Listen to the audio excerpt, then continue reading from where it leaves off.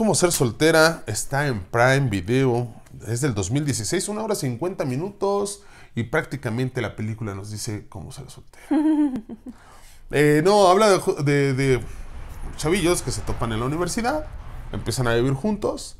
Y pues un día, bueno, la chava dice, ¿qué onda? De, de esas que se levanta la morra y dice, a ver, ya, ¿qué onda? ¿Qué hacemos aquí? Quiero cambiar el curso de mi vida. Y pues justamente se le ocurre decir, yo nunca he sido soltera, este, en corto te conocí, viví en casa de mis papás. me- y, y creo que soltera se refería a vivir sola, ¿no? A ser soltera, soltera, ¿no? Sí. Yo lo entendí así, ¿no? Eh, eh, se va a vivir con el vato y después dice, pues muchas gracias, eh, nos vemos. Aunque después empieza a dar como de topes. Pero pues viene todo un recorrido de su vida y pues se encuentra, obviamente, a la clásica amiga reventada.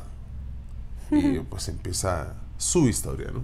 Sí, sí, la amiga prácticamente empieza mm, a hacer que esta chica viva todo lo que ella consideraba era ser soltera y disfrutar su soltería, ¿no?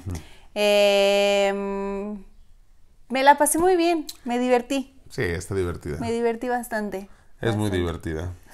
Sí, la neta, sí, en cuanto vi esa actriz dije, esto va a ser un relajito. Es como ver a la Adam Sandler, igual. Sí, ya esto va a ser un desmadre. Sí, Eh, chequenla, chavo. Ah, ya tiene tiempo, de hecho, yo, cuando la empezó dije, ah, sí, ya la había visto, más no la recordaba como tal, porque pues son de esas que ves y, y ya, las y ya, dejas la pasar. vida. Ajá.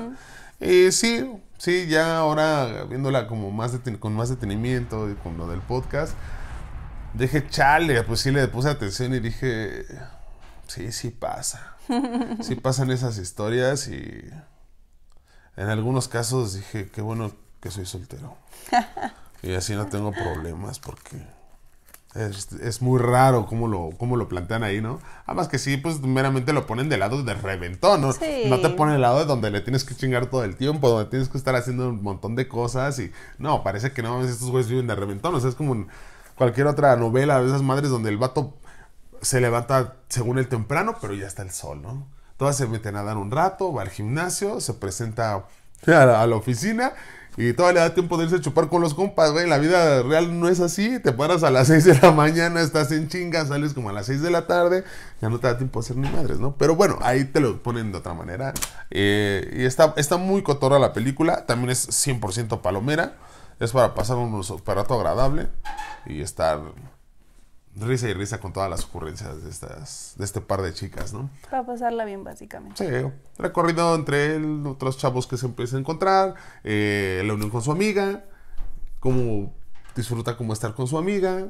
eh, su- a la hermana también tiene un montón que ver ahí, que anda metida ahí. También se me olvidaba eh, la hermana, también tiene, tiene un papel importante, Importante. dentro de toda la historia.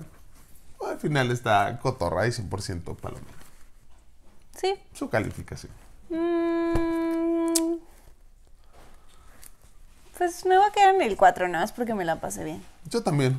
Sí, no más, no menos. Creo que tres medio también sería. ah, ah, pero me quedo con el 4. Sí, yo también. Agradable. Pues hemos terminado, chavos. Eh, sus redes sociales, Lady Clau. Eh, Instagram, ClauUNF, TikTok, ClauNF3 y Facebook, ClauUNF. Ya debes cambiar por Lady, Lady Clau. Clau. Lady Clau, uh, uh. Lady Clau, UU.